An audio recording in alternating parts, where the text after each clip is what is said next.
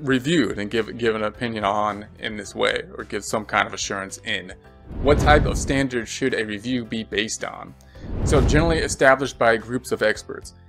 So when we think about the, the standards, when we think about if we're taking a look at something, for example, the financial statements, then we of course need to compare that to something. We need to say, okay, how is this thing going to relate? How do we know? How can we give assurance? Well, usually we're going to find some standard standards that we're going to take a look at. Standards usually being created by experts. If we're talking about financial statement audits, standards set by financial reporting framework. So if we're talking about financial statement audits, usually the thing we look at when we're looking at audits, we're looking at some kind of uh, framework, the financial reporting framework to go by. Normally, that's generally accepted accounting principles, GAAP. So normally, in a normal audit, we would say, hey, uh, here's the financial statements. We're going to dig down on them and see if they are in accordance with the rules, the generally accepted accounting principles. Do they adhere to the generally accepted accounting principles? Now note, if, if we could have other standards though, uh, financial reporting frameworks that we're looking at. So for example, if you're getting a loan from the bank and the, and the bank is willing to accept a cash basis or willing to accept financial statements that in, are in accordance with the tax code, then that might be good enough. We might be saying, okay, now we're reviewing this in relation to the financial reporting framework of the IRS tax code or a cash basis. So uh, how is financial reporting framework used? So CPA firm performs an audit in order to gather evidence to issue an opinion on whether financial statements follow the financial reporting framework. So when we think about, if we're thinking about GAAP as the financial reporting framework, then of course what we're going to do is say, okay, how can we prove that the financial statements are in accordance with GAAP? Well, we're going to go and we're going to try to gather evidence. We're going to basically make a case for it. And, and then we're going to give an opinion as to whether they do conform or they don't conform based on the evidence that we're going to draw. So what type of, of uh, attest engagements are there? There's going to be examinations, there's reviews, there's agreed upon procedures. These are going to be the most common items. What's an examination? Usually that's an audit. An audit when involving historical financial statements. So when we think about examinations, we're generally thinking the audit, and that's the highest assurance uh, CPA can offer. So that's when we think about an audit, that's the highest assurance. Now, no, we're not talking about IRS uh, audits, tax audits. Usually, when we take when we're talking about financial statements, we're talking about uh, the assurance of the CPA assurance of the financial statements. Generally, that's going to be the context of the audits in this case. So, what's in a review then? It's much less in scope of procedure than an examination. So, an, an audit is going to be the highest examination uh, that we can have a review is going to be much less. So we're going to do a lot more digging. We may not, do, you know, go out to the to the company's site as much. It's going to probably involve a lot more testings that are in-house ratio analysis, things we can do in the office, and therefore it provides only limited assurance.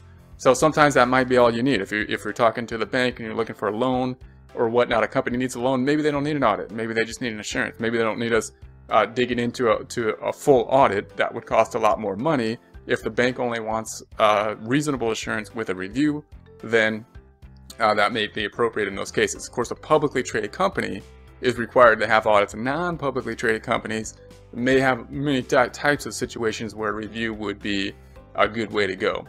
Now let's let's take a look at a chart here. So if we had an examination, we're saying the assurance level is high.